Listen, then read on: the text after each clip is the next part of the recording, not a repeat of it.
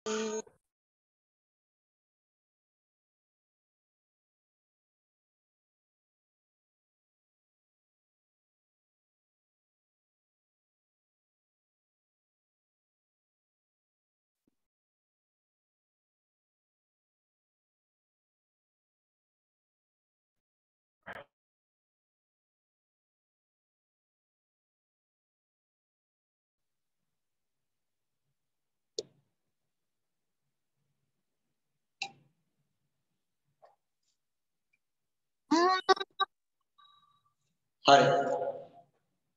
සියලු දෙනාටම ආයුබෝවන් මගේ ආදරණීය දුවේ පුතේ. ආයුබෝවන් සර්. හරි. හැමෝම පුතේ ක්ලාස් එකට සම්බන්ධ වෙද්දී Tamanගේ වීඩියෝ එක ඔන් කරගන්න. Tamanගේ වීඩියෝ එක ඔන් කරගන්න.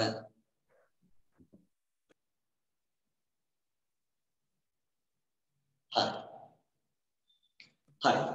එතකොට අපි ගිය සතියේ සාකච්ඡා කරේ ඔයාලත් එක්ක අපි ගිය සතියේ සාකච්ඡා කරේ ඔයාලත් එක්ක ලන්දේසි පාලන සංවිධාන පිළිබඳව ලන්දේසි පාලන සංවිධාන පිළිබඳව තමයි කතා කරේ. එතකොට මේ ලන්දේසි පාලන සංවිධාන ගත්තට පස්සේ බලන්න සිද්ධ නම් ටියුට් එක ගන්න. හරිද? හැමෝම ගාව ටියුට් එක තියෙයි කියලා මම විශ්වාස කරනවා. හැමෝම ගාව ටියුට් එක තියෙන්න ඕනි මේ වෙනකොට. හරි? හරි. එතකොට පුතේ මේ වෙනකොට අපි සාකච්ඡා කරන විදිහේ ලන්දේසි පාලන සංවිධානය පිළිබඳ ලන්දේසින්ගේ පාලන සංවිධානය පිළිබඳ. එතකොට මේ ලන්දේසින්ගේ පාලන සංවිධාන ගත්තට පස්සේ මේ සියල්ලම මෙහෙවන්නේ මේ සියල්ලම මෙහෙවන්නේ VOC අධ්‍යක්ෂක මණ්ඩලය යටතේ. මොකක් යටතේද? VOC අධ්‍යක්ෂක මණ්ඩලය යටතේ තමයි සියලු දේම මෙහෙවන්නේ. මේ පිළිබඳව අපි කතා කරමු. නමුත් මේ VOC අධ්‍යක්ෂක මණ්ඩලය පිළිහිටලා තියෙන්නේ ලන්දේසින්ගේ මෞරාජ්‍ය වෙච්ච ඕලන්දය තුල. ලන්දේසින්ගේ මෞරාජ්‍ය වෙච්ච ඕලන්දය තුල තමයි මේ VOC සමාගමේ අධ්‍යක්ෂක මණ්ඩලය පිළිහිටලා තියෙන්නේ. VOC සමාගමේ අධ්‍යක්ෂක මණ්ඩලය පිළිහිටලා තියෙන්නේ ඕලන්දය තුල. එතකොට මේ ඕලන්දයේ ඉඳලා හරිද ඕලන්දයේ ඉඳලා ආසියාවට හරිද දුර වැඩි හරිද ඒ නිසා ඒ දවස්වල සංනිවේදන තාක්ෂණය දියුණු නැහැ. සංනිවේදන තාක්ෂණය දියුණු නැති නිසා මේ ආසියාවේ පාලනය සඳහා ආසියාව පාලනය සඳහා මේ බතාවියේ බතාවිය පාලන මධ්‍යස්ථානය කරගත්තා. පෙරදිග පාලන මධ්‍යස්ථානයේ විදිහට බතාවිය ගොඩනගා ගත්තා. බතාවිය ගොඩනගාගෙන බතාවිය තුල ආණ්ඩුකාරවරයෙක් හා උපදේශක සභාවක් පත් කරගත්තා. බතාවිය තුල ආණ්ඩුකාරවරයෙක් සහ උපදේශක සභාවක් පත් කරගත්තා.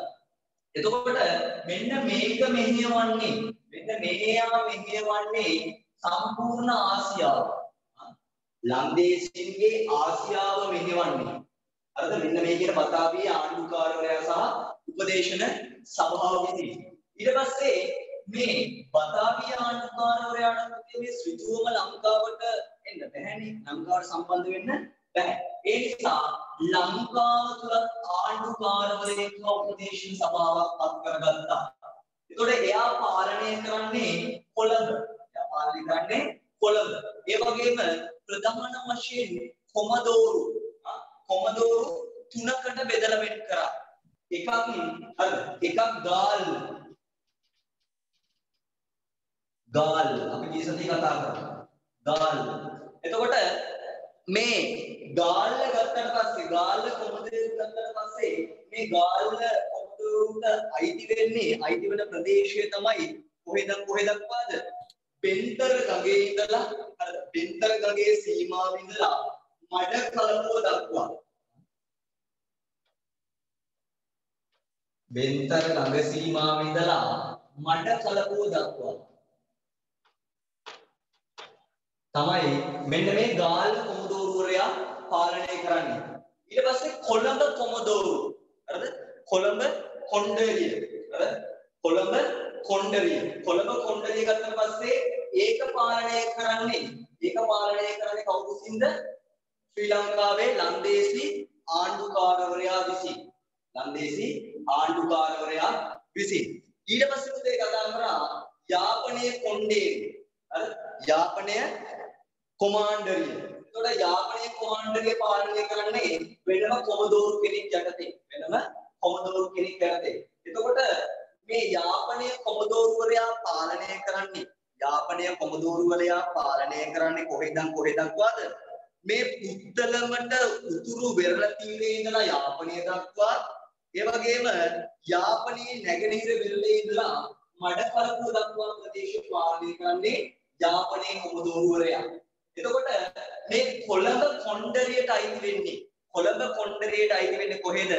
කොළඹ, අලුතර, මීගම්ව කියන මුහුදු ප්‍රදේශ සහ වෙරළබඩ ප්‍රදේශ සහ හංවැල්ල, අඟුරුවාතොට මල්වාන කියන ප්‍රදේශය තමයි මෙන්න මේ කොළඹ කොණ්ඩරියට අයිති වෙන්නේ. මේ දක්වා තමයි අපි කතා කරේ ගිය සතියේ. හැමෝටම මතකයිද?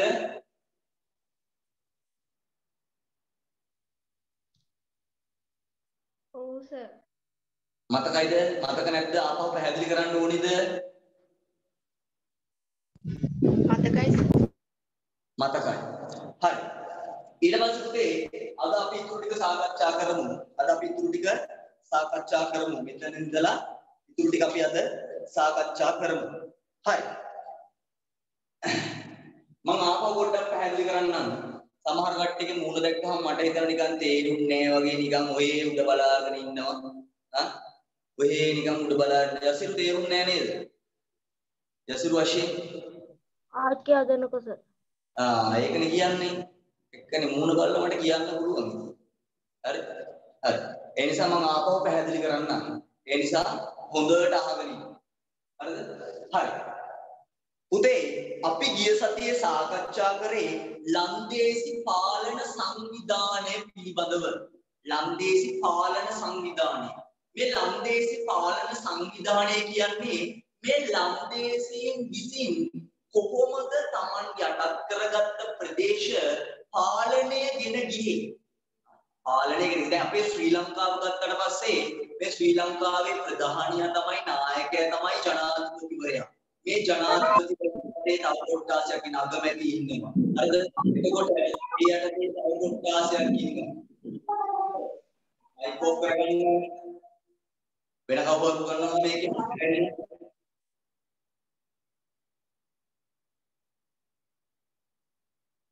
මයික් ඔෆ් කරගන්න හරි. එතකොට දැන් මේ ලංකාව ගත්තට පස්සේ මේ වර්තමාන ලංකාව ගත්තට පස්සේ පුතේ මේ පාලන සංවිධානයක් තියෙනවා ජනාධිපති. ඉන්නවා අගමැතිවරයෙක් ඉන්නවා. ඊට පස්සේ පළාත් සභාවල බෙදලා වෙන් කරලා තියෙනවා. ඊට පස්සේ ප්‍රාදේශීය සභාවලට බෙදලා වෙන් කරලා තියෙනවා. ඊට පස්සේ ග්‍රාම නිලධාරී කොට්ටාස වලට බෙදලා වෙන් කරලා තියෙනවා. ඒ පාලනය ලේසි වෙන්නනේ ඒ පාලනය ලේසි වෙන්න තමයි ඒ කටයුතු සිද්ධ කරලා තියෙන්නේ. ආන්න ඒ වගේම හරිද? ආන්න ඒ වගේම පුතේ මේ ලන්දේසීන්ට ලන්දේසීන්ට මේ පාලන කටයුතු පහසු වෙන්න. ලන්දේසීන්ට පාලන කටයුතු පහසු වෙන්න. අර ලන්දේසීන්ට පාලන කටයුතු පහසු වෙන්න. මේ වෙනම සංවිධානයක් විදිහට පාලන සංවිධානයක් පිහිටවලා තිබ්බා. එතකොට මේ ලන්දේසීන්ගේ ප්‍රධානතම ප්‍රධානතම පාලන සංවිධානය තියෙන්නේ ඕලන්තය තුල. ලන්දේසීන්ගේ මෞරාජ්‍ය වෙච්ච ඕලන්තය තුල. එතකොට පුතේ ඕලන්තයේ ඉඳලා මේ ආසියාව පාලනය කරන්න පුළුවන්ද? ආසියාව සහ ඕලන්තය තියෙන්නේ ඈතින්. ඒ දවස්වල සංවේදනය දියුණු නැහැ. දැන් වගේ ටෙලිෆෝන් අරව මේව තිබ්බද? ඉන්ටර්නෙට් වගේ දේවල් තිබුණේ නැහැ. දැන් වගේ දියුණු තාක්ෂණ දියුණු නැහැ. ඒ නිසා පුතේ මොකක්ද? මේ ආසියාතික ප්‍රදේශ පාලනය කරන්න. මේක තියෙන්නේ ඕලන්දේ. මේක තියෙන්නේ ඕලන්දේ තුල. හරිද? එතකොට මේ ලන්දේසීන්ට ආසියාව පාලනය සඳහා යන පෙරදිග ප්‍රදේශ පාලනය සඳහා ප්‍රධාන පාලන මධ්‍යස්ථානයක් ගොඩනගනවා. ඒ පාලන මධ්‍යස්ථානය ගොඩනගන්නේ බතාවිය තුල.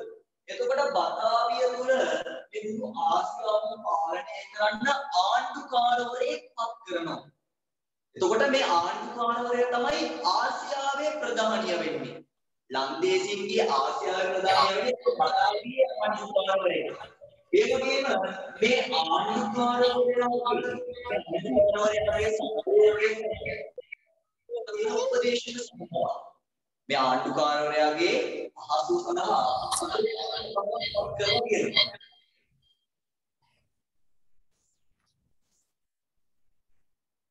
කවුද මේ මයික් ඔන් කරන්නේ? හරිද? උපදේශන සභාවක් පත් කරලා තියෙනවා. දැන් ඔය ජනාධිපතිවරයාගේ පහසුව සඳහා ඒක ජනාධිපති උපදේශන සභාවක් මේ වගේ උපදේශන සභාවක් පත් කරලා තිබුණා. එතකොට මේ බතාවිය ආණ්ඩුවේ බතාවිය තුල. එතකොට එයාට ලංකාවට සිදු මැදිහත් වෙන්න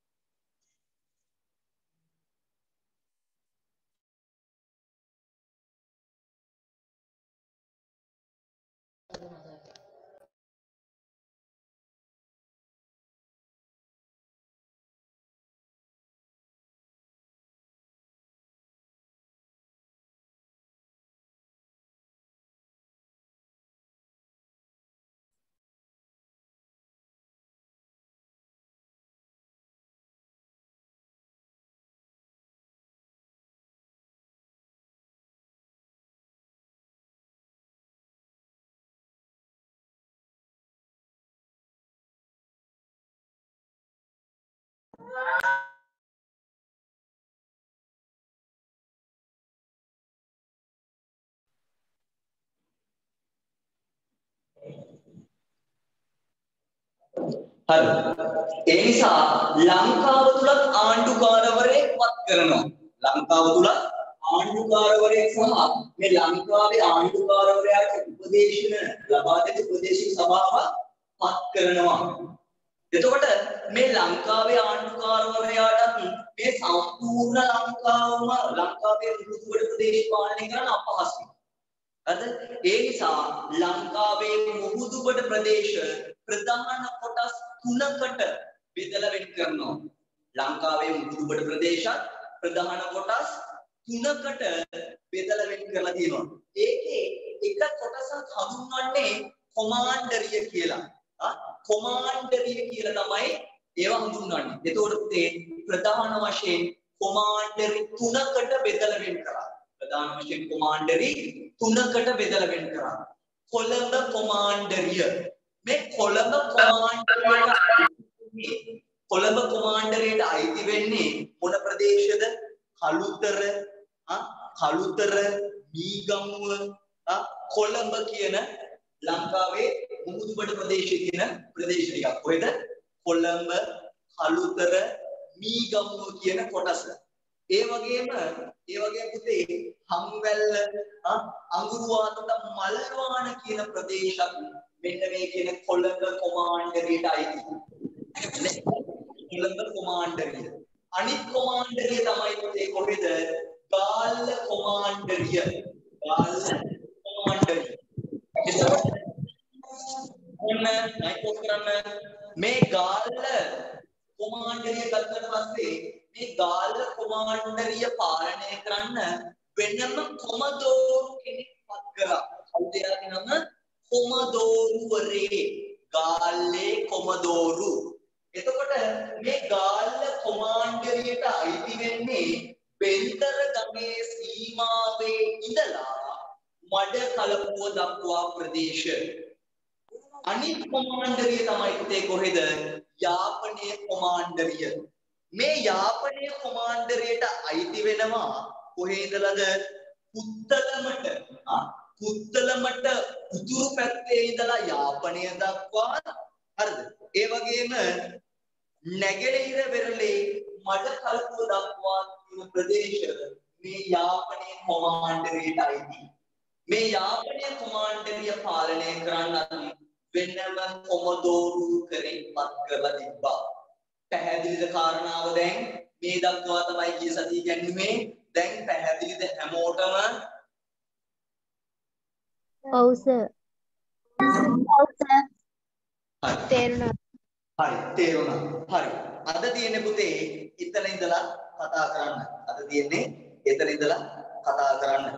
එතකොට පුතේ එතකොට මේ ගාල්ලේ කොමදෝරුවරයා සහ යාපනයේ කොමදෝරුවරයා වැඩ කරන්න ඕනි කායකටේද මේ ශ්‍රී ලංකාවේ මේ ආණ්ඩුකාරවරයා යටතේ කොළඹ ඉන්න ආණ්ඩුකාරවරයා යටතේ තමයි මේ ගාල්ලේ කොමදෝරුවරයා සහ යාපනයේ කොමදෝරුවරයා වැඩ කර යුත්තේ.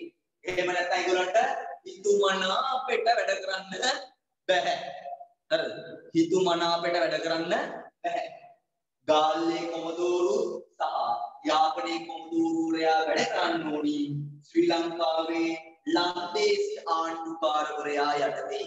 ශ්‍රී ලංකාවේ ලන්දේසි ආණ්ඩුකාරවරයා යටතේ තමයි මේ මේ වැඩ කටයුතු සිද්ධ කරන්න ඕනේ. හරි. එතනින් පල්ලෑ ඔයගොල්ලන්ගේ ටියුට් එකේ හිස් තැනක් තියෙනවා. අපි එතන නෝට් එක දැන් ලියා ගමු. අපි එතන ඉඳලා නෝට් එක ලියමු. කීවෙනි පිටුවද පුතේ නෝට් ටියුට් එකේ? තුන සර් නිපෙටුව සර් පිටුවේ ඉඳලා හැමෝම තුන්වෙනි පිටුවේ ඉඳලා දැන් ලියා ගන්න. හරි? ඒ හිස් තැනේ ලියා ගන්න. හරි. තවත් කාරණාවක් කියන්න ඕනි.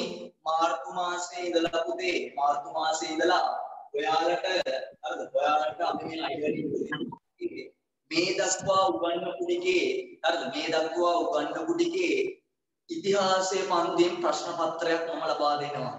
හරිද? ප්‍රශ්න පත්‍රයක් මම ලබා දෙනවා. ඒ වගේම අපේ ආයතනයේ අනිත් ගුරුවරුත් හරිද? අනිත් ගුරුවරුත් ඕගොල්ලන්ට මේ දක්වා ඒගොල්ලෝ උගන්වපු ටිකට අදාළ ප්‍රශ්න පත්‍ර ලබා දෙනවා. එතකොට එතනින් වැඩිපුරම ලකුණු ගන්න දුව පුතා අපි තෝරගන්නවා. හරිද? දුව සහ අර මේ මේ දුව හෝ පුතෙක් ලකුණු වැඩිපුර ගනි. හරිද? දුවෙක් හෝ පුතෙක් වැඩිපුර ලකුණු ගනි. අපි වැඩිපුරම ලකුණු ගන්න එක්කෙනාව තෝරගන්නවා. එයාට විශේෂ හරිද? යමක් අපි ලබා දෙනවා මාසිකව. හරිද? මාසිකව මාසිකව අපි මේ විදිහට ප්‍රශ්න පත්‍ර ලබා දෙන උගන්වපු උගන්වපු ටික දක්වා හරිද? ඔයගොල්ලෝ ඒ නිසා ඒවට උනන්දුවෙන් වැඩ කටයුතු සිද්ධ කරන්න. හරි මාර්තු මාසේ ඉස්කෝලේ විභාග තිබ්බට කමක් නැහැ. ඉතින් ඉතින් නිව්වත් වැදගත් නේ. හරිද? නිව්වත් ප්‍රශ්න පත්‍ර, ඒවත් ප්‍රශ්න පත්‍ර, ඒවටත් මහන්සි වෙන, මෙවටත් මහන්සි වෙන. හරි? හරි? කොයිවත් ප්‍රශ්න පත්‍ර. හරි? ඒක හැමෝම හැම දෙයකම මහන්සි වෙන්නේ. ඒක තමයි ඉගෙන ගන්නවා කියලා කියන්නේ. හරි? හරි. පැහැදිලිද කාරණාව හැමෝටම දැන්? ඒ කාරණාව පැහැදිලිද තියෙන්නේ? හරි. හරි. එහෙනම් අපි ලියාගමු. එහෙනම් අපි ලියාගමු තේ. ආණ්ඩුකාරවරයා හා කොමදෝරුවරුන්ට ආණ්ඩුකාරවරයා සහ කොමදෝරුවරුන්ට ආණ්ඩුකාරවරයා සහ කොමදෝරුවරුන්ට සර් යාපනය කියන එක මොකද පුතේ? යාපනය කොමාන්ඩර් යටතේ යා ඔව් ඊට පල්ලෙන් තියෙනවනේ පුතේ හිස්තැන. ඒ ටික ලියන්නේ. ආණ්ඩුකාරවරයා හා කොමදෝරුවරුන්ට පහලින්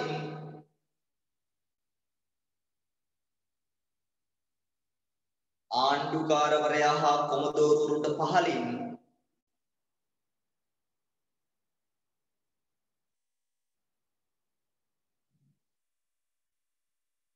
ආණ්ඩුකාරවරයා සහ කොමදෝරුවරුන්ට පහලින්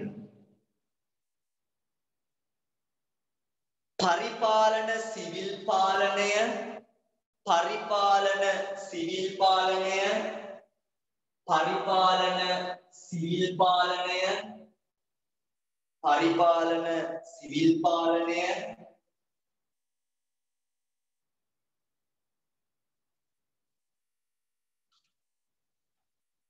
හමුදා පාලනය හමුදා පාලනය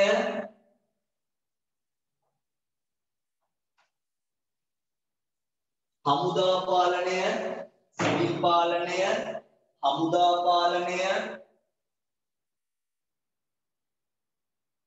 වෙළඳ අංශය වශයෙන් වෙළඳ අංශය වශයෙන් වෙළඳ අංශය වශයෙන් වෙළඳ අංශය වශයෙන් වෙළඳ අංශය වශයෙන් වෙළඳ අංශය වශයෙන් කොටස් තුනකට බෙදා වෙන් කර තිබුණි. කොටස් තුනකට බෙදා වෙන් කර තිබුණි.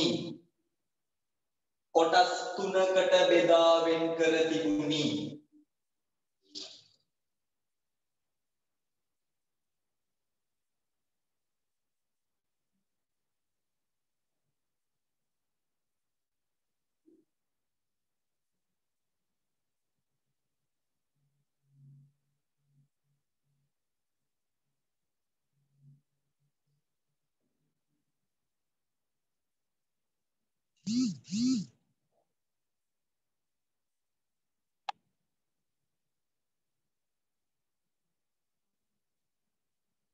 සිවිල් පාලනය සඳහා සිවිල් පාලනය සඳහා සිවිල් පාලනය සඳහා සිවිල් පාලනය සඳහා සිවිල් පාලනය සඳහා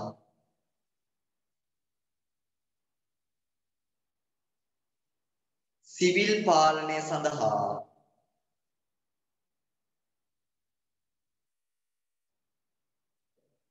සිවිල් පාලනය සඳහා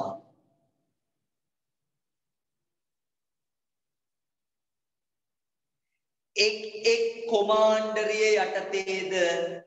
එක් එක් කොමාන්ඩරිය යටතේද?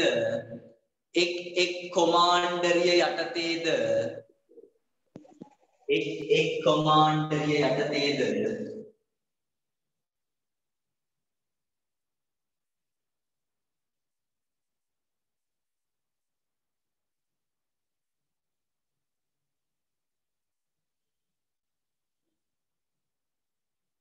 දිසාවනියක් පැවතුනි.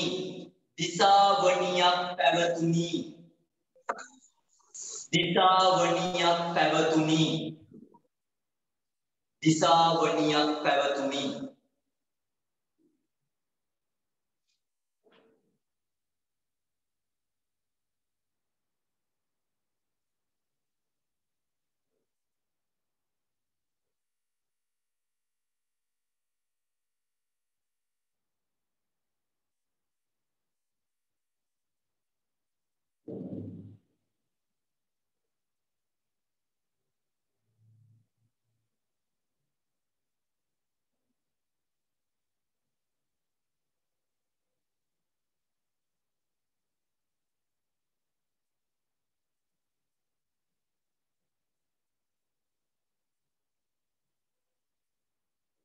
දිසාවනි යටතේ කෝරල වලට දිසාවනි යටතේ කෝරල වලට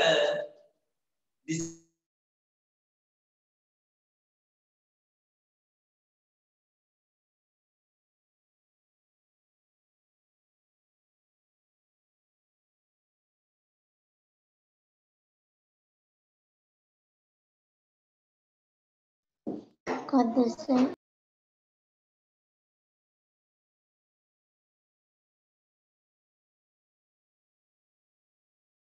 මොකද්ද කිව්වේ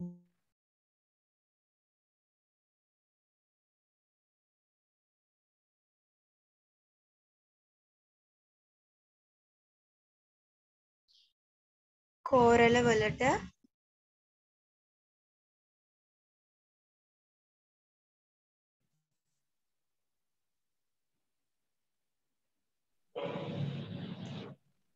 දිසාවණි යටතේ කෝරළ වලට බෙදා වෙන් කර තිබූ අතර ඒවායේ වගකීම මුදලිවරුන්ට හා ගම්මුලා දෑනිවරුන්ට පවරා තිබුණි. සර් මොකද්ද?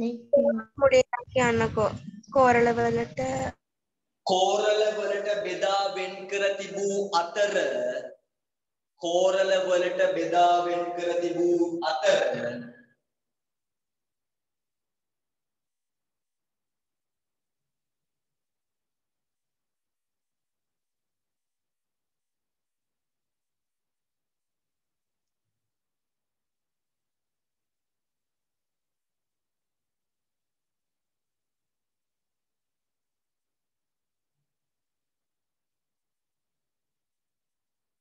ඒවායේ සේවා කටයුතු.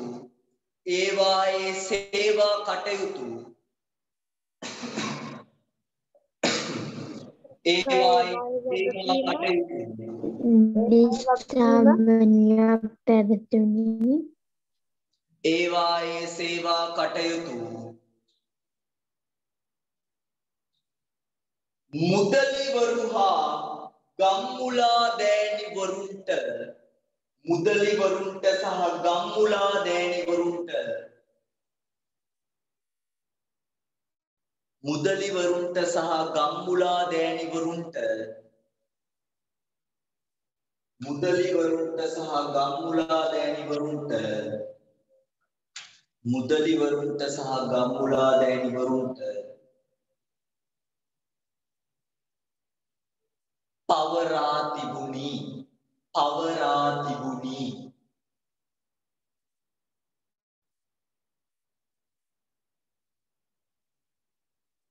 පවරා තිබුණි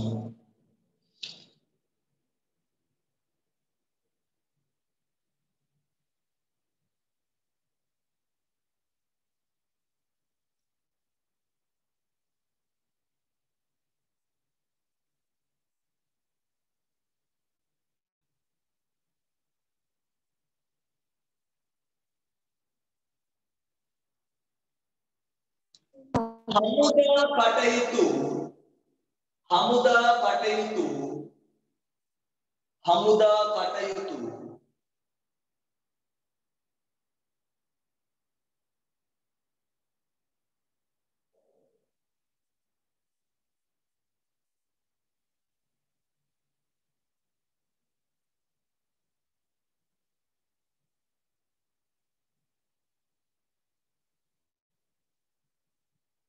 හමුදා කටයුතු කපිතාන්වරු යටතේ ක්‍රියාත්මක විය.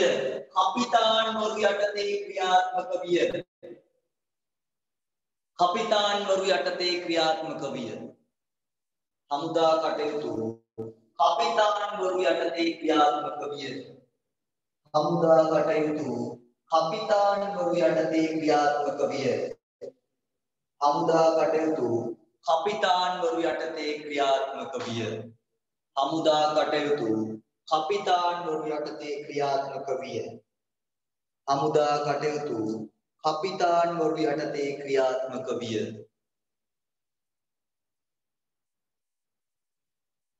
හමුදා කටයුතු කපිතාන්වරු යටතේ ක්‍රියාත්මක විය.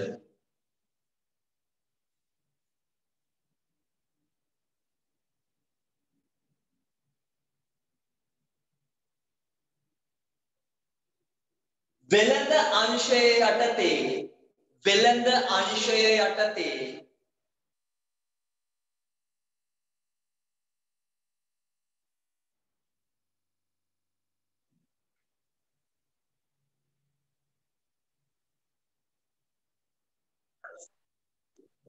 වෙළඳ අංශය යටතේ වෙළඳ අංශය යටතේ.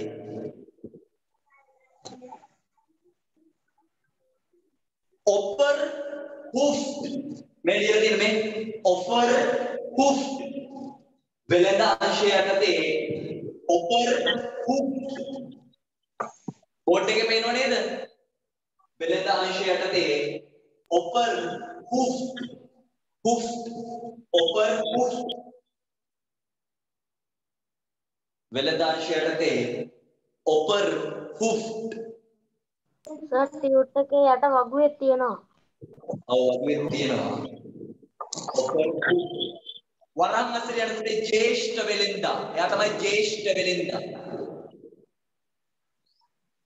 ජේෂ්ඨ වෙලෙන්දා.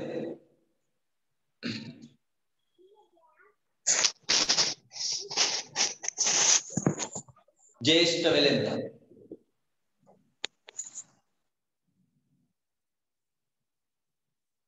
එයා තමයි කවුද? ජේෂ්ඨ වෙලෙන්දා. offer hoof ඔහු යටතේ ඔහු යටතේ හූෆ්මන් හූෆ්මන්. හූෆ්මන්. මේ ටියුට් මේ ලියලා තියෙනවා. හූෆ්මන්. හූෆ්මන්. වරහන් අසලියන්න යා ඉඩම් ආදායම් බාර. ඉඩම් ආදායම් බාර. ඉඩම් ආදායම් බාර. නිලධාරියා පත් කර තිබුණි. නිලධාරියා පත් කර තිබුණි. නිලධාරියා පත් කර තිබුණි. නිලධාරියා පත් කර තිබුණි. නිලධාරියා පත් කර තිබුණි හරි පන්ති අතරමැද එක්කෙනෙක් ඇවිල්ලා වාඩි වුණා. තුන් දෙනාගෙන් දෙන්න ඉදියේ. අන්න පස්සේ අතරමැදදී එක්කෙනෙක් ඇවිල්ලා වාඩි වුණා. දැන් වීඩියෝ ඔන් කරන හරි මම දැක්ක අවුලක් නැහැ. හරි. ඊට පස්සේ වීඩියෝ ඕෆ් කරා. ආව දැක්කම. ඒ කමන්න නැහැ වීඩියෝ ඔන් කරන්න. තුක් ගාලා වීඩියෝ ඔෆ් කරාට වැඩක් නැහැ මට වීඩියෝ එක මෙතන දාලා තියෙන්නේ මම ලොකු තිරයක්. ඒ නිසා මට පේනවා. හරි. හරි. හරි. හරි. අහගන්න පුතේ අහගන්න හරිද? මෙන්න මේ කිව්ව පාලක සංවිධානයේ chart එක තමයි මේ මම මේ බෝඩ් එකේ හදලා තියෙන්නේ. ඒ වගේම ඔයගලගේ ටියුට් එකෙත් ඒක තියෙනවා. හැමෝගම ටියුට් එකේ තියෙනව නේද? ඔව් සර් ඔව් සර්. ටියුට් එකේ තියෙනවා. ඒ පාඩම් කරන කම්පියුටර් තමයි ටියුට් එක දාලා තියෙන්නේ. හරි. එතකොට අර මුලින්ම ඉන්නවා BOC සමාගමේ අධ්‍යක්ෂක මණ්ඩලය. මේ BOC සමාගමේ අධ්‍යක්ෂක මණ්ඩලයේ ඉන්නේ ඕලන්දේ තුල. ඒ කියන්නේ ලන්දේසින්ගේ මෞරාජ්‍ය තුල. ඊට පස්සේ ආසියාව පාලනය සඳහා බතාවියේ පාලන මධ්‍යස්ථානයන් ගොඩනගලා තියෙනවා. ඒ යටතේ ආණ්ඩුකාරවරයෙක් සහ උපදේශක සභාවක් ඉන්නවා. ඊට පස්සේ ඒ යටතේ ශ්‍රී ලංකාවේ මුදුබඩ ප්‍රදේශ පාලනය කරන ආණ්ඩුකාරවරයෙක් සහ උපදේශක සභාවක් පිළිගොලා තියෙනවා. එතකොට මේ ආණ්ඩුකාරවරයාට සම්පූර්ණම මුළු මහත් වෙරළබඩ ප්‍රදේශම පාලනය කරන්න අපහසු නිසා මොකද්ද? බෙදලා වෙන් කරලා තියෙනවා කොමාන්ඩරි තුනකට. බෙදලා තියෙනවා කොමාන්ඩරි තුනකට. ඒ කොමාන්ඩරි තුන තමයි පුතේ කොළඹ කොමාන්ඩරිය. කොළඹ කොමාන්ඩරිය පාලනය කරන්නේ ලංකාවේ ලන්දේසි ආණ්ඩුකාරවරයා විසින්මයි. ඊට පස්සේ ගාල්ල කොමාන්ඩරිය. ගාල්ල කොමාන්ඩරිය යටතේ ඉන්නවා පාලනය කරන්න කොමදෝරුවරේ. මේ කොමදෝරුවරයා තමයි ඒක පාලනය කරන්නේ. ඊට පස්සේ යාපනයේ කොමාන්ඩරිය පාලනය කරන්න කොමදෝරුවනේ වෙනම කොමදෝරු කෙනෙක් පත් කරලා තියෙනවා. එතකොට මේ ගාල්ලේ කොමදෝරුවරයා සහ යාපනයේ කොමදෝරුවරයා ක්‍රියා කරන්නේ මේ ලංකාවේ ලන්දේසි ආණ්ඩුකාරවරයා යටතේ. එයාගේ උපදෙස් මත තමයි ඒගොල්ලෝ සේවය කරන්නේ. එතකොට ශ්‍රී ලංකාවේ ආණ්ඩුකාරවරයා සහ කොමදෝරු යටතේ කොමදෝරුන්ට පහලින් තියෙනවා ප්‍රධාන අංශ තුනකට බෙදලා වෙන් කරලා තියෙනවා. එකක් සිවිල් පාලනය, අනික හමුදා කටයුතු, අනික තමයි වෙළඳ අංශය. මේ සිවිල් පාලනය යටතේ දිසාවේවරය දිසාපතිවලට දිසාවලට බෙදලා වෙන් කරලා තියෙනවා. ඒ දිසා පාලනය කරන්නේ දිසා වේවරයා විසින් දිසා වේවරයා යටතේ ඉන්නවා මුදලිවරු සහ විධානයවරු. ඒ වගේම මේ දිසාවන් බෙදලා වෙන් කරලා තියෙනවා කෝරාලවලට ඒ යටතේ ඉන්නවා මුදලිවරු සහ ගම්මුලා දෑනිවරු. ඒ වගේම හමුදා කටයුතු මෙහෙවන්නේ කපිතාන්වරු. හමුදා කටයුතු මෙහෙවන්නේ කපිතාන්වරු. ඒ වගේම වෙළඳාංශය ගත්තට පස්සේ වෙළඳාංශයේ ප්‍රධානියා තමයි ඔපර් පුෆ්. ඔපර් පුෆ් කියන්නේ ජ්‍යෙෂ්ඨ වෙළෙන්දා. ඒ කියන්නේ ප්‍රධානතම වෙළෙන්දා තමයි ඔහු. ඔහු යටතේ ඉන්නවා උෆ්මන්. උෆ්මන්. එයා තමයි ඉඩම් ආදායම් බාර. ඉඩම් ආදායම් බාර. හරි. පැහැදිලිද හැමෝටම මේ දක්වා?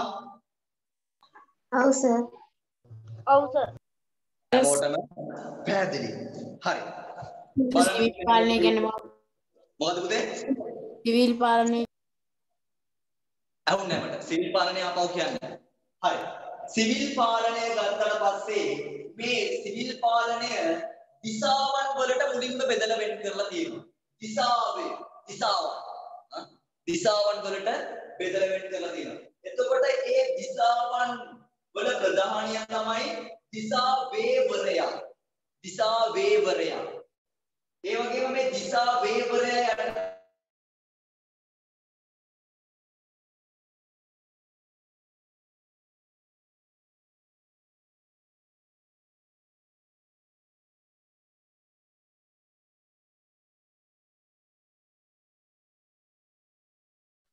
යට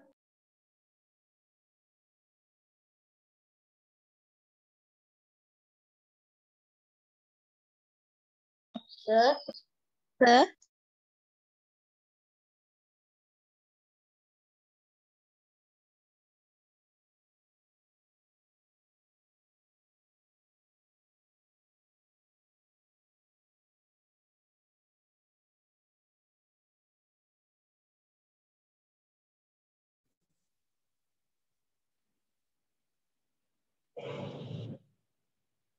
දැන් පැහැදිලිද පුතේ? ඔව් සර් දැන් පැහැදිලි. පුතේ හැමෝම ටියුට් එක ටියුට් එක කරන්න. ලන්දේසි ආණ්ඩුකාරවරයා යටතේ කොළඹ කොමාන්ඩරිය තුල පැවති මෙම පරිපාලන ව්‍යුහයට සමාන තත්ත්වයක් සෙසු කොමාන්ඩරි තුලද කොමදෝරු යටතේ ක්‍රියාත්මක විය. ලන්දේසීන් යටතේ සිවිල් පාලන කටයුතු සංවිධානයේදී දිසාවේවරයාට වැදගත් බලයක් හිමි විය. කොමාන්ඩරි තුනට දිසාවරි තිදෙනෙකු පත් කර තිබුණා. මේ කොමාන්ඩරි තුනට පත් කරලා තිබුණලු දිසාවේවරු තුන් දෙනෙක්. මේ කොමාන්ඩරි වලට කොමදෝරු වලට දිසාවේවරු තුන් දෙනෙක් පත් කරලා තිබුණලු. හරි අර මම දැන් කිව්ව කාරණා ටික තමයි මේ දැන් කියන්නේ. දිසාවේ තනතුර සඳහා ලන්දේසි ජාතිකයන් පත් කරනු අතර සිවිල් පාලනයේ පහළ තනතුරු සඳහා දේශීය නිලධාරීන් ගැනින. එතකොට උදේ මේ දිසාවේ තනතුරට දිසාවේ තනතුරට අරන් තිබ්බේ කවුද? ලන්දේසි ජාතිකයෝ. ඊට පස්සේ මේ මුදලිවරු, විධානීවරු, බැගේ මේ කම්පුලා දෑනිවරුන්ට පත් කරලා තිබ්බේ දේශීය නිලධාරීන්. ලංකාවේ තිබු කට්ටිය තමයි ඒකට පත් කරලා තිබුණේ. කෝරාල, මුදලි, විදානේ, ගම්මුලා දෑනි වැනි තනතුරු මෙන්ම යාපනයේ ප්‍රදේශයේ භාවිතා වූ අධිකාරී, අංකානම්, උඩයාර් වැනි පැරණි සිංහල නාම එසේ යොදාගත් සාම්ප්‍රදායික දේශීය නිලධාරීන් උදාහරණ වෙනවා. හරි මං හිතනවා මේ ටික පැහැදිලි වෙන්නේ නැති කියලා මේ හැම කොමාන්ඩරයකටම දිසා වේවරු පත් කරලා තිබ්බා මේ දිසා වේවරු පත් කරලා තිබ්බේ ලන්දේසි ජාතිකයින් ඒ වගේම මේ මුදලිවරු විධානීවරු ගම්මුලා දෑනිවරු ඒ වගේ පුතේ කංකානම්වරු අධිකාරී උඩයාර් මෙන්න මේ වගේ කට්ටිය දේශීය නිලධාරීන් ලාංකික නිලධාරීන් තමයි මේ සඳහා පත් කරලා තිබුණේ. හරි.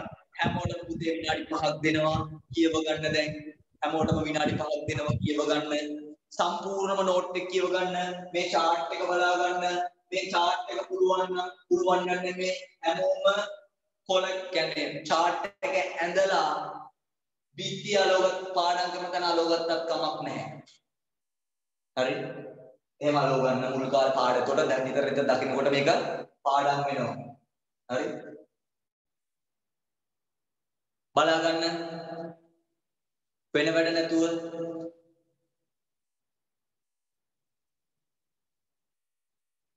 හරි.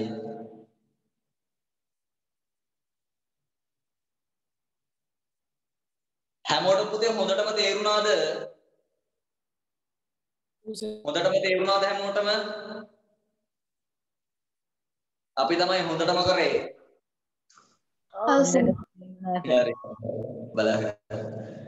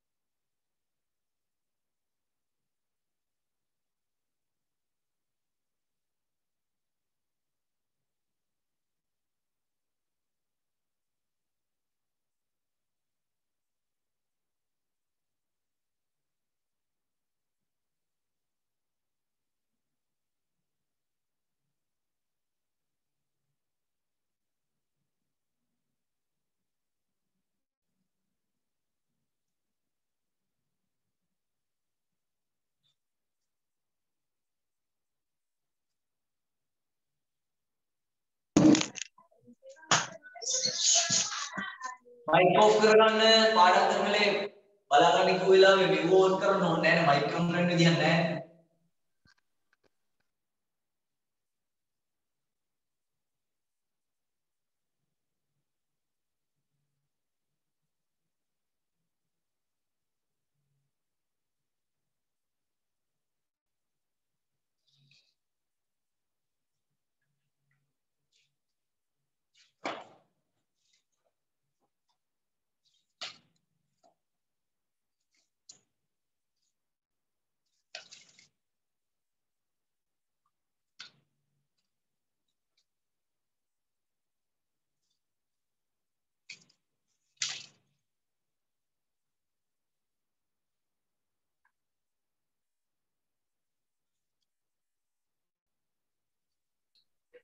හරි.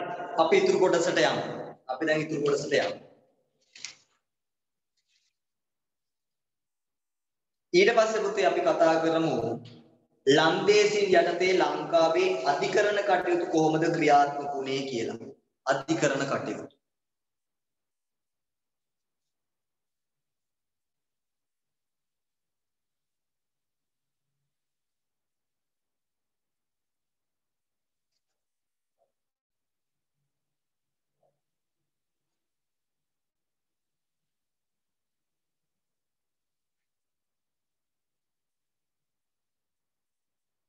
अधिकरण कर दीजिए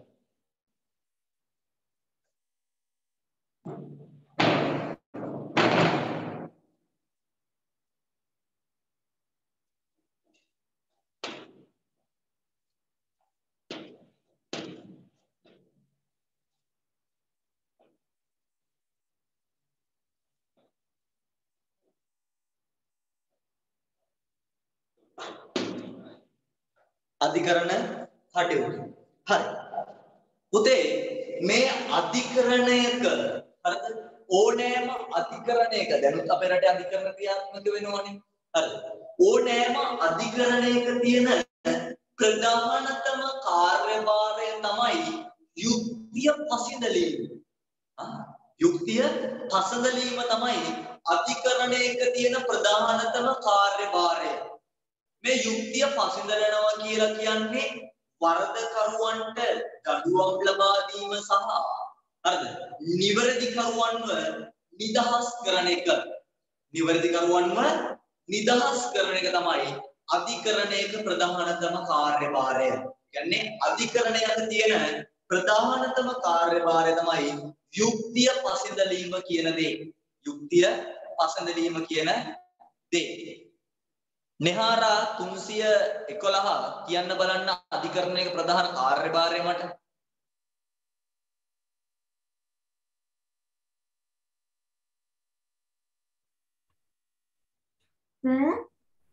ඔව් අධිකරණයක ප්‍රධාන කාර්යභාරය මොකක්ද? යුක්තිය පසිදලීම යුක්තිය පසඳලීම තමයි අධිකරණයක ප්‍රධානතම කාර්යභාරය. ඊට පස්සේ එතන ඉන්න පිටිපස්සේ දුව කියන්න බලන්න යුක්තිය පසඳලනවා කියලා කියන්නේ මොකක්ද?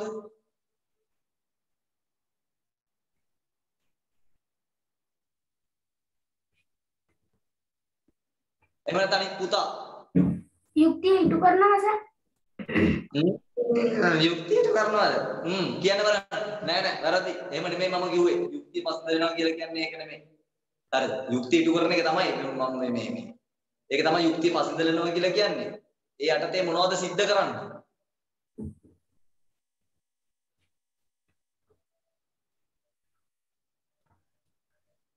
වෙන කතා බෑ අහගෙන ඉන්න ඕන හරි මට පේනවා හොඳේ අහගෙන ඉන්න ඕනි තුන් දෙනත් එක්ක වටමේස සාකච්ඡා දාන්න බෑ ක්ලාස් ඉවරනහම වටමේස සාකච්ඡාවක් දාන්න හරි මේ වෙලාවේ අහගෙන ඉන්න හරි යුක්තිය පසෙදලනවයි කියලා කියන්නේ වරදකරුවන්ට දඩුවම් ලබා දීම සහ නිවැරදිකරුවන්ව නිදහස් කරන එක යුක්තිය පසෙදලන කියන ඕනෑම ඕනෑම අධිකරණයක දැන් වර්තමානයේ අධිකරණ තියෙනවා ලංකාවේ තියෙන ඉහළතම අධිකරණ ආයතනය තමයි ශ්‍රේෂ්ඨ අධිකරණය. ඔයගලන්ට මම ඒකත් ඉගෙනුවා පුරෝසි අධ්‍යාපනය විෂය යටතේ. ආ මමනේ පුරෝසි අධ්‍යාපනය උගන්වන්නේ. නේ මම ඉගෙනුවා නේද? ඔව් සර්. ආ පුරෝසි අධ්‍යාපනය කියන විෂය යටතේ මම ඒක කියන්නේ අධිකරණයක තියෙන ප්‍රධාන කාර්යභාරය තමයි මොකද්ද? යුක්තිය පසඳලීම. ඕනෑම අධිකරණයක ප්‍රධාන කාර්යභාරය තමයි යුක්තිය පසඳලීම. ඒතකොට අද අපි කතා කරන්නේ අද අපි කතා කරන්නේ පුතේ ලන්දේසින් යටතේ ලංකාවේ අධිකරණ කටයුතු ක්‍රියාත්මක වෙච්ච ආකාරය. ලන්දේසින් යටතේ ලංකාවේ අධිකරණ කටයුතු ක්‍රියාත්මක වෙච්ච ආකාරය තමයි අද අපි කතා කරන්නේ. පුතේ අද වර්තමානයේ ගත්තට පස්සේ ශ්‍රී ලංකාවේ අධිකරණය ගත්තට පස්සේ ශ්‍රී ලංකාවේ අධිකරණය ගත්තට පස්සේ ලංකාවේ නීති සංග්‍රහය කොටසක් තියෙනවා.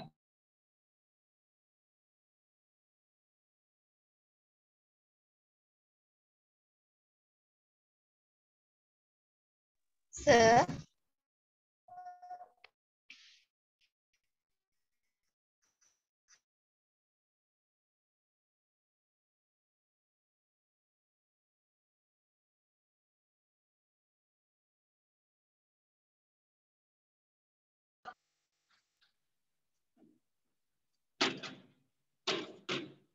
වර්තමාන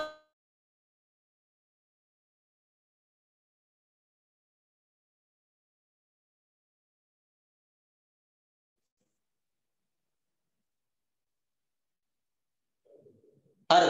වර්තමානයේ තියෙන රෝවලන්දේසි නීතිය අහගන්න හොඳට. හරිද? හොඳට අහගන්න. හරිද? හොඳට අහගන්න. රෝ සෝරි ලන්දේසින් යටතේ ලංකාවේ අධිකරණ කටයුතු ගත්තට පස්සේ මේ වර්තමානයේ වර්තමානයේ නීති සංග්‍රහයේ අර වර්තමානයේ ශ්‍රී ලංකාවේ නීති සංග්‍රහයේ රෝම ලන්දේසි නීතිය දායාදුනේ ලන්දේසීගේ ලන්දේසීගේ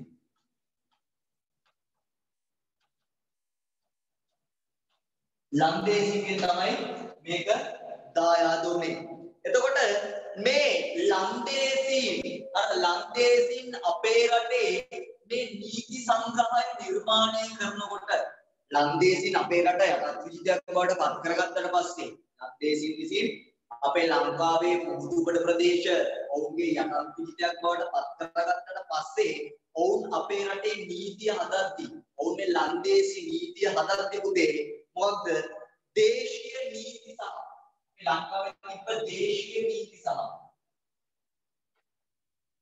දේශීය නීති සහ අපේ රටේ තිබ්බ සිරිත් පිරිත් වලට.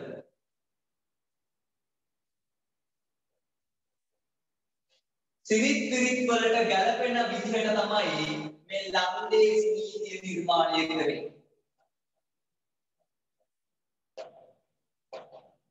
ලන්දේසි නීතිය නිර්මාණය කරේ. ලන්දේසීන් විසින් මේ ශ්‍රී ලංකාවේ නීතිය හදද්දී හරිද? ලංකාවේ තිබ්බ දේශීය නීතිය සහ ලංකාවේ සිරිත් පිරිත් උපයෝගී කරගනිමින් තමයි ලන්දේසීන් විසින් අපේ රට තුළ ලන්දේසි නීතිය නිර්මාණය කරේ. ලන්දේසි නීතිය නිර්මාණය කරේ. එතකොට පුතේ මේ මේ ලන්දේසීන් විසින් අපේ රටට හඳුන්වලා දුන්නා අධිකරණ පද්ධතිය. මොකද හඳුන්වලා දුන්නේ අධිකරණ පද්ධතිය.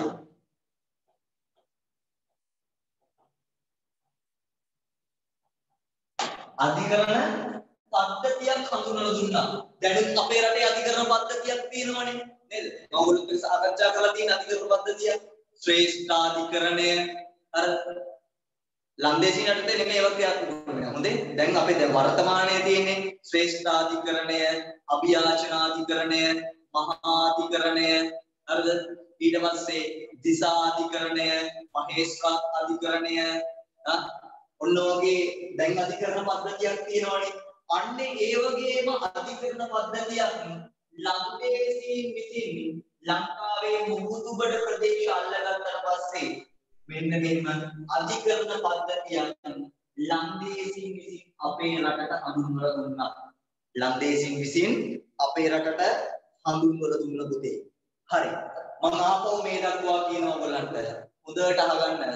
ආපහු මේ දක්වා ඔයගලන්ට කියන නිසා හොඳට අහගන්න. ලන්දේසින් යටතේ ලංකාවේ අධිකරණ කටයුතු. ලන්දේසින් යටතේ ලංකාවේ අධිකරණ කටයුතු. මේ ඕනෑම අධිකරණයක ප්‍රධානතම කාර්යභාරය තමයි ඕනෑම අධිකරණයක ප්‍රධානතම කාර්යභාරය තමයි යුක්තිය පසිඳලීම කියන දේ. යුක්තිය පසිඳලීම කියන දේ. එතකොට අද වර්තමානයේ ගත්තට පස්සේ මේ වර්තමාන ශ්‍රී ලංකාව ගත්තට පස්සේ ලංකාවේ නීති සංග්‍රහයේ කොටසක් තියෙනවා රෝම ලන්දේසි නීතිය කියලා නීතිය. රෝම ලන්දේසි නීතිය. මෙන්න මේ කියන රෝම ලන්දේසි නීතිය අපිට ආවේ උතේ ලන්දේසින්ගේ ලන්දේසින්ගේ. එතකොට මෙන්න මේ කියන ලන්දේසින් අපේ රටේ තුල නීතිය හදද්දී ඒගොල්ලෝ නීතිය හදද්දී අපේ රටේ දේශීය නීතිය සහ සිරිත් පිරිත් වලට ගැලපෙන ආකාරයට තමයි ලන්දේසි නීතිය අපේ රට තුළ නිර්මාණය කරේ. ඒ වගේ පුතේ ලන්දේසි විසින් අපේ රටට හඳුන්වලා දුන්නා අධිකරණ පද්ධතියක්.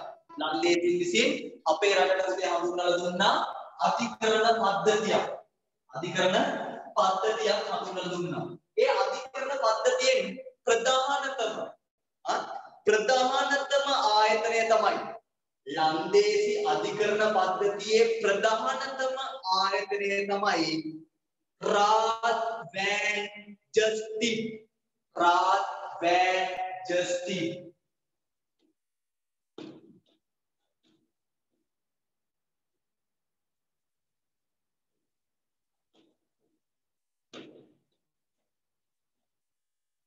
රාත් වෑන් රාත් වෑන් ජස්ටික් කියන එක තමයි මේ ලන්දේසීන්ගේ ලන්දේසීන්ගේ අධිකරණ පද්ධතියේ ඉහළම ආයතනය. මේකට කියනවා මහා අධිකරණය කියලා.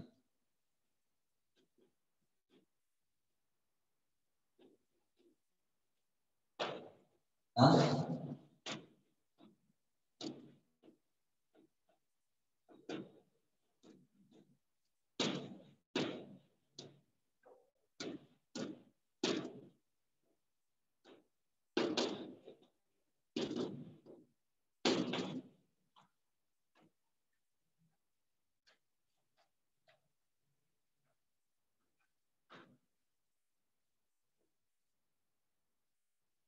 සර් අපිට කරන්ට් එක ගියා. හරි. එහෙනම් පුතේ වීඩියෝ එක පස්සේ හරි බලන්න නැත්නම් ඊටිබන්දව පත්තු කරගන්න ෆෝන් එකකින් ඉන්නවනේ ඊටිබන්දව පත්තු කරගෙන හරි ක්ලාස් වලට සම්බන්ධ වෙන්න. හරි? හරි. එතකොට පුතේ අහන්න ලන්දේසීන්ගේ අධිකරණ පද්ධතියේ ඉහළම ආයතනය තමයි ලංකාව තුළ ලන්දේසීන්ගේ අධිකරණ පද්ධතියේ ඉහළම ආයතනය තමයි රාත් වෑන් ජස්ටිස් කියලා කියන්නේ. ඒකට මහා අධිකරණය කියලා කියනවා. මේ යටතේ තියෙනවා පුතේ සිවිල් රාජ් මේ යටතේ තියෙනවා මොකක්ද සිවිල් රාජ් උසාවි. සිවිල් රාජ් උසාවි.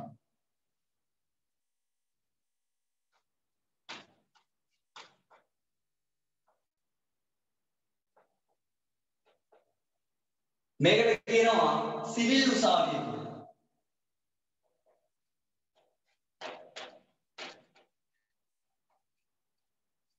මේක කියනවා සිවිල් උසාවිය කියලා. ඊට පස්සේ මේ සිවිල් රාජ් උසාවි යටතේ තියෙනවා ලෑන්ඩ් රාජ්. ලෑන්ඩ් රාජ්.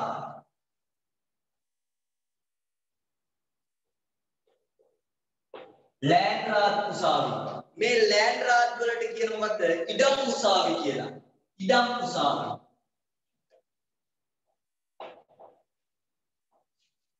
ඉඩම් උසාවි. ඉඩම් උසාවි. ඊට පස්සේ තියෙන පොතේ පිස්කල උසාවි. ඊට පස්සේ පිස්කල උසාවි.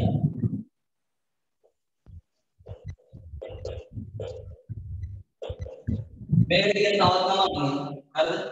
දිසා අධිකරණය.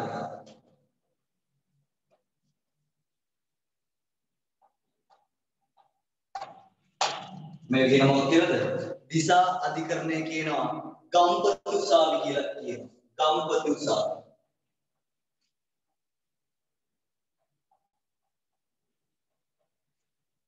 මෙන්න මේ පිස්කල් උසාවි තමයි මෙන්න මේ කියන පිස්කල් උසාවි තමයි ලන්දේසීන්ගේ අධිකරණ පද්ධතියේ තියෙන පහළතම අධිකරණ ආයතනය. හරි. මම ආපහු මේ දක්වා හැමෝටම කියනවා හොඳින් අහගන්න. වෙන වැඩ කිසිවක් කරන්න එපා. වෙන වැඩ කිසිවක් කරන්න එපා. හොඳට අහගන්න මයි මම පැහැදිලි කරන වෙලාවේ මයික් ඔන් කරන්න එපා ජරබර ජරබර ගාලා සද්දය වුණොත් අනිත් ළමයින්ට පාඩුවක් ඒ වගේ මටත් උගන්වන්න හරි අමාරුයි. හරි? ඒ නිසා ෆෝන් එක පුතේ කෙලින්ම ට්‍රයිපෝඩ් එකේ තියෙනවා නම් ඒකට හේතු කරමු. කියන්නේ ඒකේ තියලා තියන්න. නැත්තම් එහෙම නැත්තම් මොකක් හරි මොකට බෝතලේ වතුර බෝතලේට හරි හේතු කරලා තියන්න. අල්ලන්නවත් එපා පොත. ඔය ඇල්ලුවොත් මයික් එකේ මොන වෙන්නේ? නේද? තියන්න. හරි? හරි. පුතේ අපි ඊට පස්සේ කතා කළේ අධිකරණ කටයුතු පිළිබඳව. අධිකරණ කටයුතු පිළිබඳව. ලන්දේසී යටතේ ශ්‍රී ලංකාවේ අධිකරණ කටයුතු පිළිබඳව තමයි අපි සාකච්ඡා කරේ. මේ ඕනෑම අධිකරණයක තියෙන ඕනෑම අධිකරණයක තියෙන ප්‍රධානතම කාර්යභාරය තමයි මොකද්ද? යුක්තිය පසිදලීම කියන එක. නීතිය අර නීතිය හරියට අර මිනිස්සු අතර පැහැදිලි කරලා දෙනවා. ඒ වගේම වරදකරුවන්ට දඬුවම් ලබා දෙනවා. නිවැරදිකරුවන්ට නිදහස් කරනවා. ඔන්න ඔයගේ කටයුතු කරන්නේ අධිකරණය යටතේ. එතකොට මේ ලංකාවේ වර්තමානයේ ක්‍රියාත්මක වෙනවා නීති සංග්‍රහයේ රෝම ලන්දේසි නීති ක්‍රමය කියලා එකක්. මේ රෝම ලන්දේසි නීති ක්‍රමය දායාද වෙලා තියෙන්නේ මේ ලන්දේසින් යටතේම තමයි. හරි. ඒක වර්තමානයේ ක්‍රියාත්මක වෙනවා. දැන් අපි යමු ලන්දේසින්ගේ පාලන සමයට. ලන්දේසින් ශ්‍රී ලංකාවේ මුදුබඩ ප්‍රදේශයක විතරයි පාලනය කරේ. එතකොට ලන්දේසින් ශ්‍රී ලංකාවේ මුදුබඩ ප්‍රදේශ ටික පාලනය කරනකොට මේ ලන්දේසින් යටතේ ඔවුන් හඳුන්වලා දුන්නා අධිකරණ පද්ධතිය. අධිකරණ පද්ධතියක් හඳුන්වලා දුන්නා. මේ ලන්දේසි යටතේ ශ්‍රී ලංකාවේ ක්‍රියාත්මක වෙච්ච ඉහළම අධිකරණ ආයතනය තමයි රාජ් වෑන් ජස්ටිස් කියලා කියන්නේ. මොකද්ද? රාජ් වෑන් ජස්ටිස් මහා අධිකරණය කියලා කියනවා. එතකොට මේ රාජ් වෑන් ජස්ටිස් කියලා කියන්නේ ලන්දේසි යටතේ ලංකාවේ නීති ලංකාවේ අධිකරණ පද්ධතියේ ක්‍රියාත්මක වෙච්ච ඉහළම අධිකරණ ආයතනය තමයි පුතේ මෙන්න මේක. හරිද? එතකොට මෙන්න මේ රාජ්‍යයන් ජස්ටිස් කියන උසාවි කොමත් නෙමෙයි. කොමාන්ඩරි තුනේම තියෙනවා. ගාල්ල කොමාන්ඩරියෙත් තියෙනවා, කොළඹ කොමාන්ඩරියෙත් තියෙනවා, ඒ වගේම පුතේ යාපනයේ කොමාන්ඩරියෙත් තියෙනවා. යාපනය කොමාන්ඩරියෙත් මෙන්න මේක තියෙනවා. එතකොට මේ යටතේ තමයි අපරාධ නඩු. මිනිමැරි මංකොල්ල කෑම් වගේ නඩු. විභාග කරන්නේ මෙන්න මේ රාජ්‍ය ජස්ටිස් කියන උසාවිය තුල. පැහැදිලිද කාරණාව? හරි. ඊට පස්සේ මේ රාජ්‍ය ජස්ටිස් කියන උසාවියට පල්ලෙහෙන් තියෙනවා සිවිල් රාජ් උසාවි කියලා එකක්. මොකක්ද? සිවිල් රාජ් උසාවි. මේකට කියනවා මොකක්ද කියලාද? සිවිල් උසාවි කියලා කියනවා. සිවිල් උසාවි කියලා කියනවා. එතකොට මේ සිවිල් රාජ් උසාවි හේවත් අර සිවිල් රාජ් උසාවි හේවත් මේ සිවිල් උසාවි ලන්දේසි පාලනය ආරම්භ වෙච්ච කාල වකවානුවේ ඉඳලම මෙන්න මේ සිවිල් රාජ් උසාවි ක්‍රියාත්මක වුණා. එතකොට කොළඹ, ගාල්ල, යාපනය කියන කොමාන්ඩරි තුනේම පුතේ මෙන්න මේ සිවිල් රාජ් උසාවි තියෙනවා. ගාල්ල කොමාන්ඩරේ තියෙනවා, කොළඹ කොමාන්ඩරේ තියෙනවා, යාපනය කොමාන්ඩරේ මෙන්න මේක ක්‍රියාත්මක වෙනවා. රික්ස් ඩොලර් 120ට අඩු අලාභ තියෙන හැම නඩුවක්ම කතා කරන්නේ මෙන්න මේ සිවිල් රාජ් උසාවිය තුල. මෙන්න මේ කියන සිවිල් රාජ් උසාවිය තුල. ඒ වගේම මේ සිවිල් රාජ් උසාවියට තවත් පල්ලෙහෙන් තියෙන උසාවියක් තමයි ලෑන්ඩ් රාජ් එහෙම නැත්නම් ඉඩම් උසාවි. ලෑන්ඩ් කියලා කියන ඉඩම් වලට නේ ලෑන්ඩ් ලෑන්ඩ් හරිද? ඒක ලෑන්ඩ් රාජ් උසාවි. ඉඩම් උසාවි. එතකොට මෙන්න මේ ඉඩම් උසාවි ක්‍රියාත්මක වුණා කොළඹ, ගාල්ල, යාපනය, මාතර අර මඩකලපුව මෙන්න මේ වගේ මධ්‍යස්ථානවල ලෑන්ඩ් රාජ් උසාවි ක්‍රියාත්මක වුණා. ලෑන්ඩ් රාජ් උසාවි වලට පල්ලෙහෙන් තියෙන තවත් උසාවියක් මොකද? පිස්කල් උසාවි. පිස්කල් උසාවි වලට තවත් නමක් කියනවා දිසා අධිකරණය සහ ගම්පොති උසාවි කියලා. එතකොට මෙන්න මේ පිස්කල් උසාවි තමයි ලන්දේසි යටතේ ලංකාව තුළ තිබිච්ච පහදතම අධිකරණ ආයතන. මොකද පිස්කල් උසාවි. පිස්කල් උසාවි. හරි. පැහැදිලිද කාරණාව දැන් පැහැදිලි ගන්න පුටික හැමෝටම ප්‍රශ්න තියෙනවද? නෑ සර්. එහෙනම් අපි දැන් ලියාගමු. නෑ සර්. ලියාගමු. රාජ් වෑන් ජස්ටිස් කියන උසාවිය යටතේ කියන ටික ලියාගමු. හරි. ලියාගන්න. දැන් තියෙන ලියන්න තමයි මේ හැම එකක්ම දැන් පැහැදිලි කරලා තියෙන්නේ මම ඔයාලට. හරි. ලියමු. ලියමු. රාජ් වෑන් ජස්ටිස් කියන උසාවිය යටතේ ලියාගමු. ලන්දේසි අධිකරණ පද්ධතියේ ලන්දේසි අධිකරණ පද්ධතියේ ලන්දේසි අධිකරණ පද්ධතියේ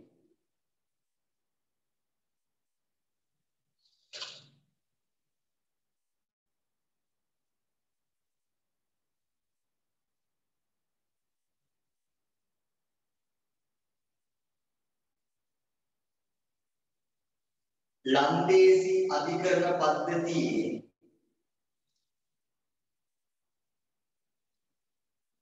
ලන්දේසි අධිකරණ පද්ධතියේ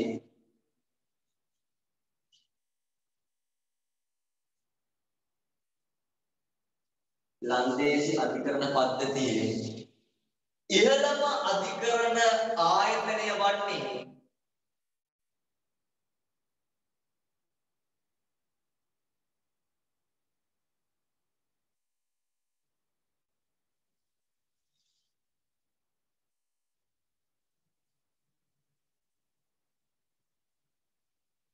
මෙම අධිකරණ ආයතනයයි මෙම අධිකරණ ආයතනයයි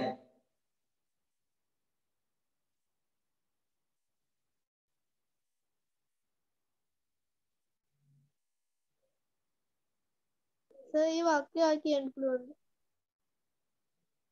ලන්දේසි අධිකරණ පද්ධතියේ පවතින ඉහළම අධිකරණ ආයතනය මෙම අධිකරණ ආයතනයයි.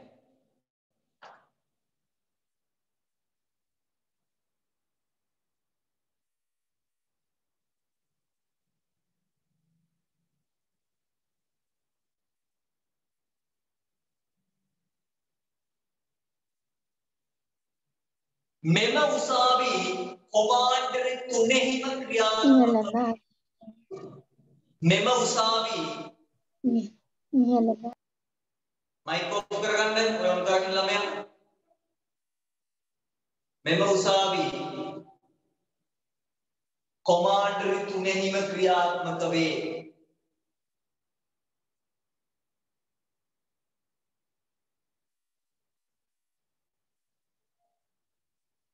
මෙම උසාවි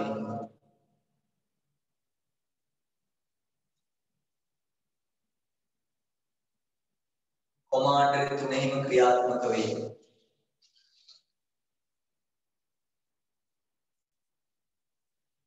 මෙම උසාවි ප්‍රධාන කාර්යභාරය වන්නේ මෙම උසාවි කාර්යභාරය වන්නේ මෙම උසාවියෙහි ප්‍රධාන කාර්යභාරය වන්නේ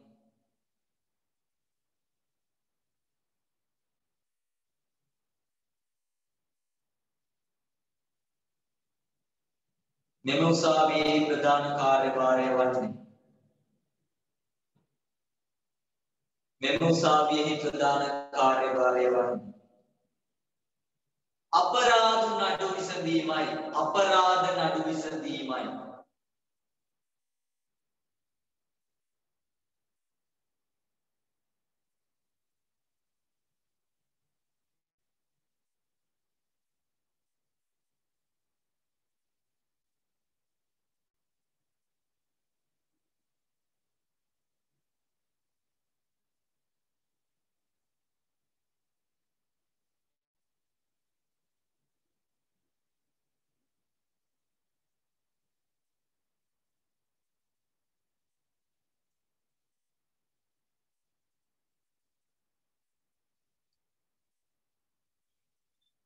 අපරාධ නඩු විස- විසඳීමයි.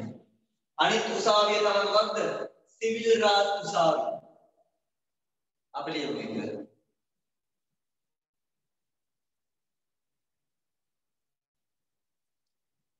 ලන්දේසි පාලනය ආරම්භයේ සිටම ලන්දේසි පාලනය ආරම්භයේ සිටම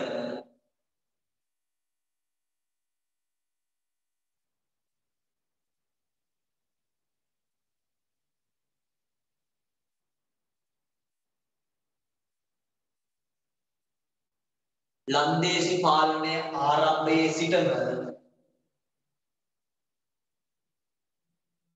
ලන්දේසි පාලනය ආරම්භයේ සිටම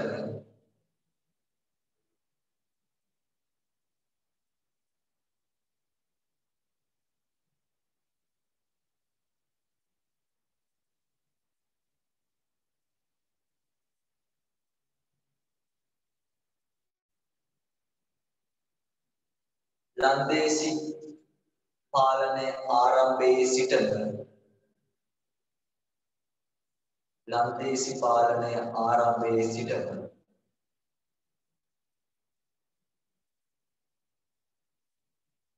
කොමාන්ඩරි තුනෙහිම කොමාන්ඩරි තුනෙහිම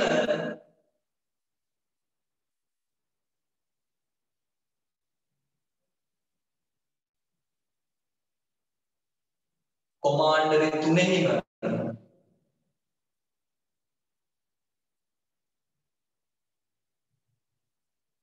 ලන්දේ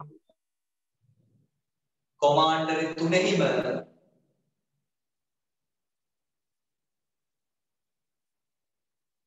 මෙම උසාවි ක්‍රියාත්මක විය. මෙම උසාවි ක්‍රියාත්මක විය.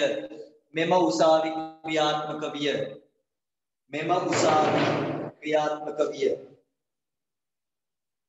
මෙම උසාවි ක්‍රියාත්මක විය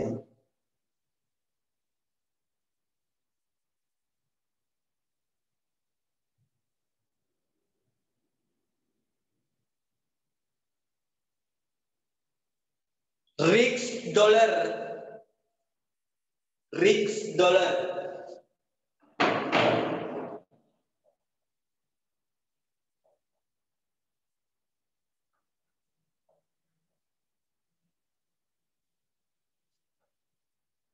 rix dollar එකසිය විස්සට අඩු අලාභ සම්බන්ධ නඩු හා රික්ස් ඩොලර් එකසිය විස්සට අඩු අලාභ නඩු සහ.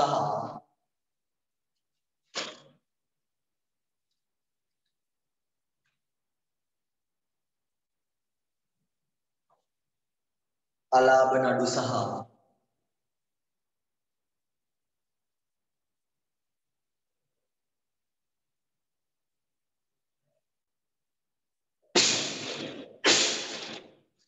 ෆික්ස් ඩොලර් 120ට අඩු අලාභ නඩු සහ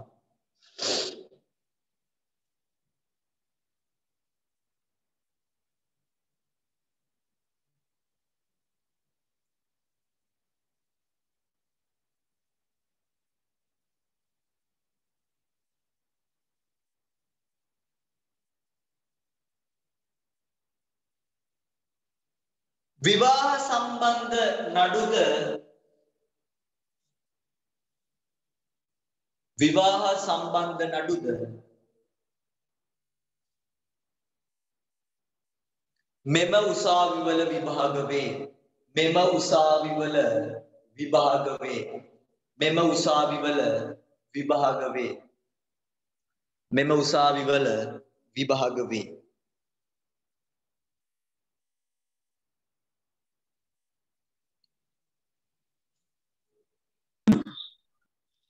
මෙම උසාවිවල විභාග වේ.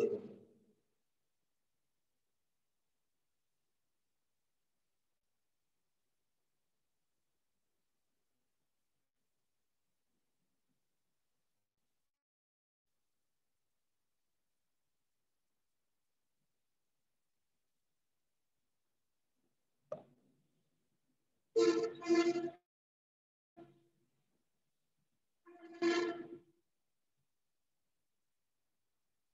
පස්සේ ලෑන්ඩ් රාජ්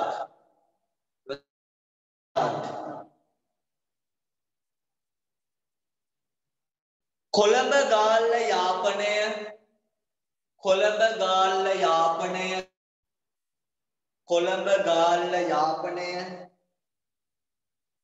Colombo Galle Yapanaya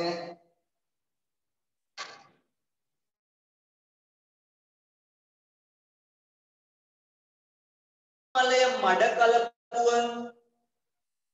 Sir, I can also hear una videos again. Colombo Galle Matara Yapanaya ත්‍රීකුණාමලය මඩ කලපුව.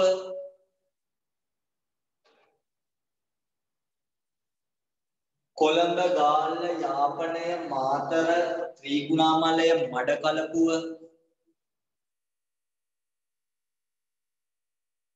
යන මධ්‍යස්ථාන තුල යන මධ්‍යස්ථාන තුල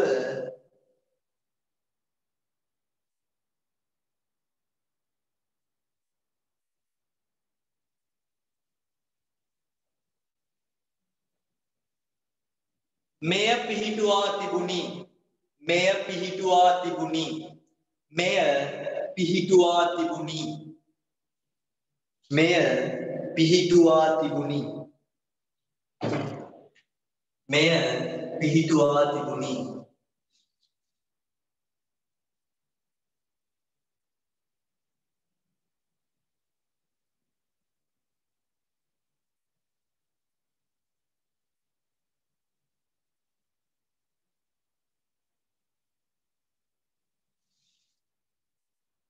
දිසාවේවරයා මෙම උසාවිවල සභාපතිවරයා වේ. දිසාවේවරයා දිසාවේවරයා මෙම උසාවිවල සභාපතිවරයා වේ.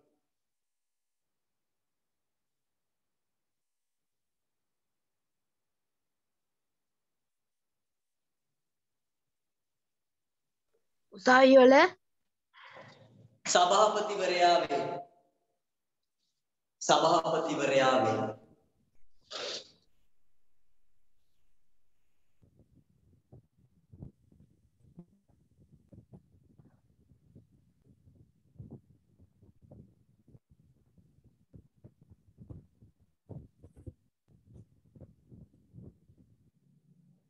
ඊට පස්සේ පිස්කල් උසාවි. පිස්කල් උසාවි.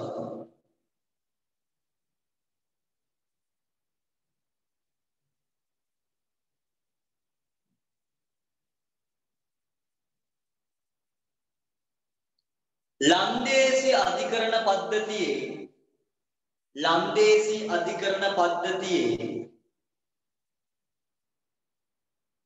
ලන්දේසි අධිකරණ පද්ධතියේ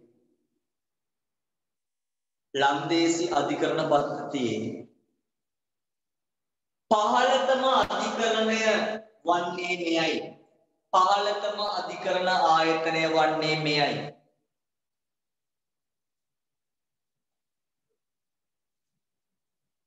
පහළතම අධිකරණ ආයතනය වන්නේ මෙයයි.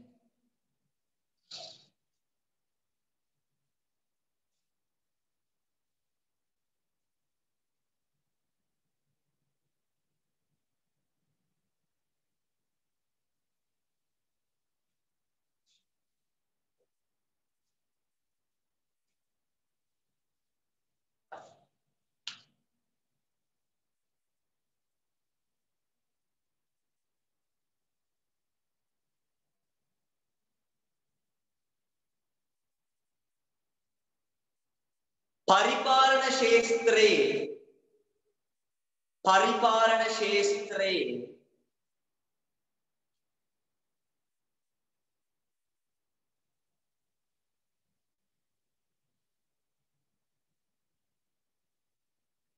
පරිපාලන ශේස්ත්‍රයේ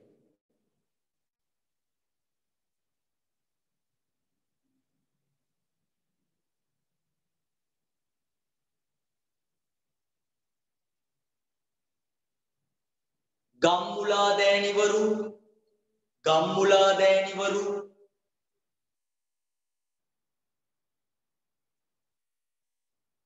ගම්මුලා දෑනිවරු කමා විධානේ කමා විධානේ.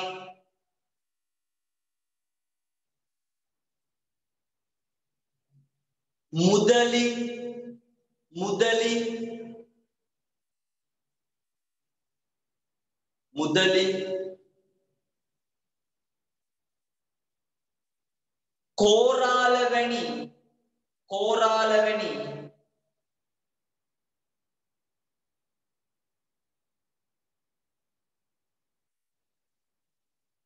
දේශීය නිලධාරීන්ට දේශීය නිලධාරීන්ට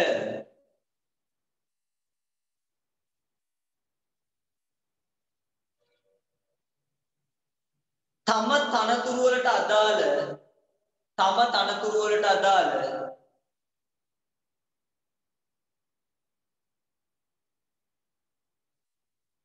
සුළු අධිකරණ බලතල තිබුණි. සුළු අධිකරණ බලතල තිබුණි.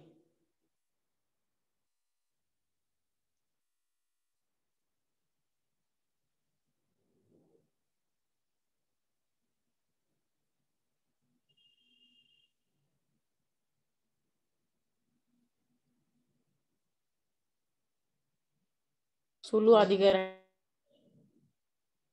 සුළු අධිකරණ බලතල තිබුණි. සුළු අධිකරණ බලතල තිබුණි. සුළු අධිකරණ බලතල තිබුණි. සුළු අධිකරණ බලතල තිබුණි.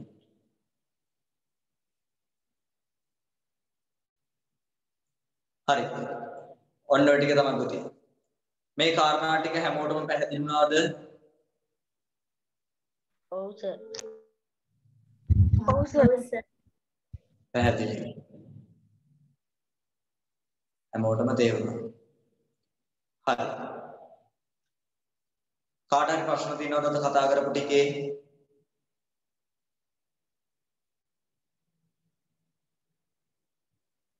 නෑ සර්. හරි. නෑ සර්. හරි. එහෙනම් පුතේ අදට මම මෙතනින් ක්ලාස් එක අවසන් කරනවා. අපි නැවතත් හම්බ වෙන්නේ හෙට දිනේදී පුරවැසි අධ්‍යාපනය පන්තියේ. ඒ සඳහා සියලු දෙනාම සම්බන්ධ වෙන්න. හරි. එහෙනම් සියලු දෙනාම පරිස්සමින් ඉන්න. ආයිබෝවන්. ආයිබෝවන් අයිබෝවන් සර්. ආයිබෝවන් සර්.